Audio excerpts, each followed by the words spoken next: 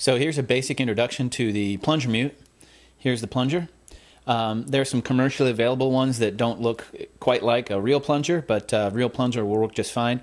You're after a sink plunger. Uh, you don't want the full-size plunger. That's a little too big, uh, unless you play trombone.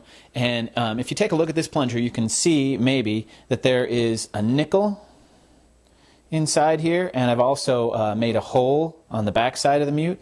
The nickel helps give it uh, the mute a little more buzz to the sound, and it also helps the air flow through a little better. So uh, when you when you're using this mute, um, obviously, you're going to hold it in your left hand, you're going to hold the horn in your right hand, and you're just going to put it up here on the end of the bell and make this kind of motion.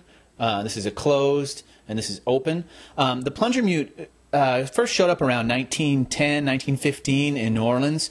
Um, the guy who's kind of credited with uh, starting the whole plunger mute thing is a guy by the name of Chris Kelly. Um, some other uh, really famous plunger mute users are Bubber Miley and uh, Cootie Williams, both of whom played for uh, the Duke Ellington Orchestra. In fact, uh, you should check out Cootie. Uh, he's got a couple um, YouTube videos that are just fantastic. Another good video uh, of plunger mute use and a great, just spooky song is uh, The Seductress by Wynton Marsalis. Um, it's a really cool tune. There's a link on this video, uh, how to get to that. And uh, anyway, so here it is. Like I said, there's a, an open and a closed. These are shown by uh, plus is closed and an O is open in your sheet music. And uh, there's a couple different ways you can you can use this. Just mess around with it. Uh, obviously, you'll have a, have a good time. This is a pretty cool mute. Makes you sound like a voice.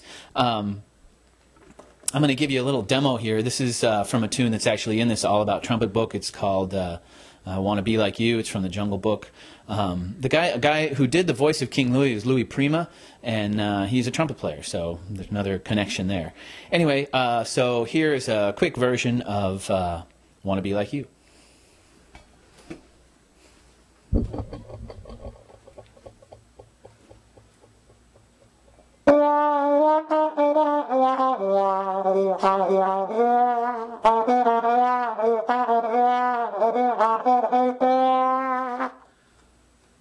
So there's the, the first uh, plunger lesson. Check out the next one for a few more techniques and just mess around. This is a, a really fun uh, mute, so give it a try. Good luck.